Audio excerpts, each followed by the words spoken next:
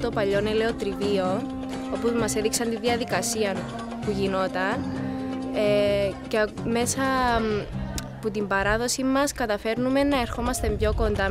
Είναι ωραίο γιατί βρίσκουμε ξεχωριστούς τρόπους παρασυνηθισμένους. Bugün ilk olarak Çatoz'a yani yeni adı Serdarlı'ya gittik. Orada sesta yapımını öğrendik. Burada güzel vakit geçirdik. Yeni şeyler öğrendik. Güzelliği yani yeni şeyler öğrenmek tabii insanı iyi hissettirir.